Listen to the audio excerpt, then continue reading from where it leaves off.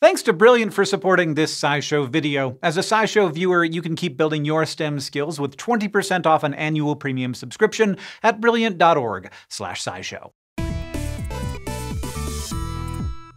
There's an old particle physics joke, don't trust atoms. They make up everything. While that's actually not entirely true, most of the stuff we interact with on a daily basis is made of atoms, so it makes sense that we all have to learn about them. And in school, we are taught that atoms are made of some combination of protons, neutrons, and electrons. The simplest atom has just one proton and one electron buzzing around it, and that is hydrogen. But it turns out that there is an atom out there that's even simpler than hydrogen. It is called muonium, and it may help researchers understand the deepest mysteries of physics. Muonium gets its name from a particle called a muon, so let's start by explaining what that even is. Basically, it's a particle that is almost exactly like an electron, with the same negative electric charge, but there are two key differences between them. First, a muon is about 200 times more massive than an electron, though that still makes it about 9 times lighter than a proton. And second, it is unstable. After about 2 millionths of a second, it will spontaneously decay, leaving behind an electron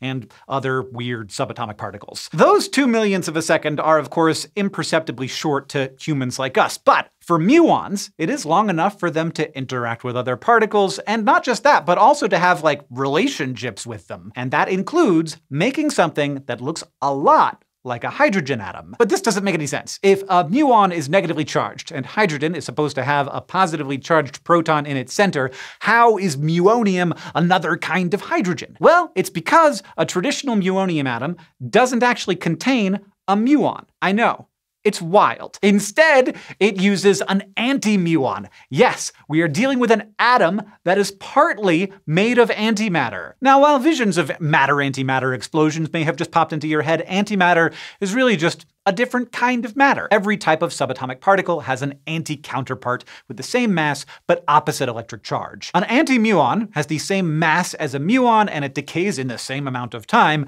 but it has a positive charge instead of a negative one. And here's the key point. The strength of that positive charge is exactly the same as the positive charge of a proton. So if a regular old electron is in orbit around an anti-muon, that is a muonium atom.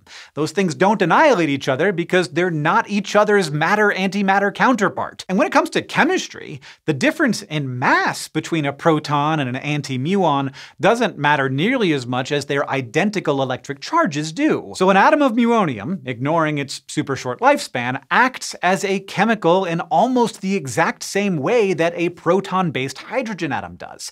This is why some scientists consider muonium to be the lightest form of hydrogen. And just like other forms of hydrogen, like deuterium and tritium, chemists gave muonium an honorary chemical symbol, Mu. Now, if you prefer to think about muonium as its own element and not like a quirky kind of hydrogen, that could make muonium the simplest element in the universe. Just like muons, antimuons are fundamental. They are as simple as a single subatomic particle can get. Meanwhile, an individual proton is complicated. It's not fundamental. Each one is made of smaller particles called quarks. So even if the simplest hydrogen atom only has one proton and one electron, muonium is even simpler. These days, anti-muons are actually fairly easy to create in particle accelerators, although they come out traveling pretty quickly, so making muonium requires taking a concentrated beam chock full of anti-muons and then slowing them down. This can be done by literally putting aluminum or gold foil in the beam's path, which slows the anti-muons down by making making them bump into electrons and the like. When they get nice and slow, the old adage of opposites attract kicks in. The positively charged anti-muons can peel off some of the negatively charged electrons orbiting other atoms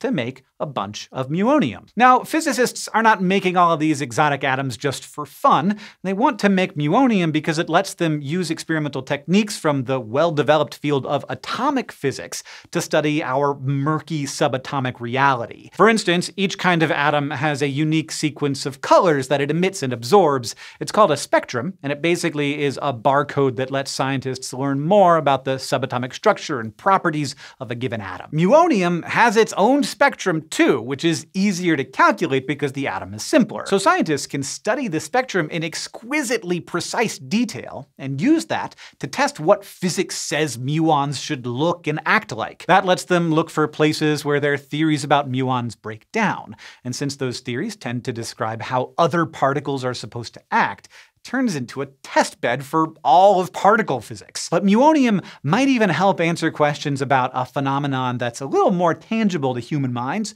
uh, gravity. Specifically, does gravity pull on antimatter the way it pulls on regular matter? No one knows this because no one's made enough antimatter to properly weigh it, but muonium may be the perfect solution. Not only is muonium relatively easy to make, the atom as a whole is electrically neutral, and that means it will be easier for scientists to screen out any effects caused by the electromagnetic force and focus solely on how gravity is acting. And because we're in the antimatter game, antimuonium is also a thing. Instead of an antimuon forming a bond with a regular electron, this involves a negatively charged regular muon combining with a positively charged anti-electron. So if scientists ever spot atoms of muonium and antimuonium falling in different ways under the same conditions, either faster, slower, or even in different directions, that will be a clear sign that there's some new unexplained physics going on. Meaning that yes, the atom that breaks all the rules might break one of the biggest rules in the universe,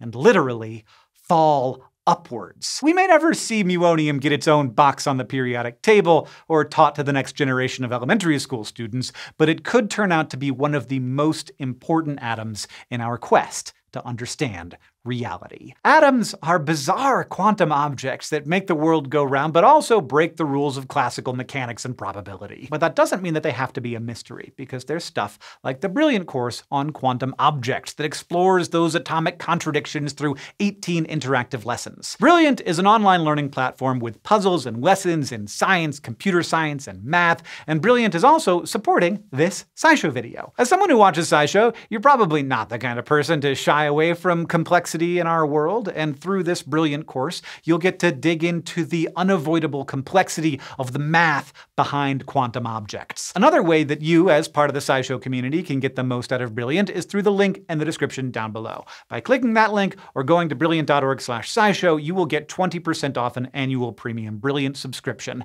The world is full of unavoidable complexity at the atomic level and beyond, and we are so glad you choose to explore it all with us.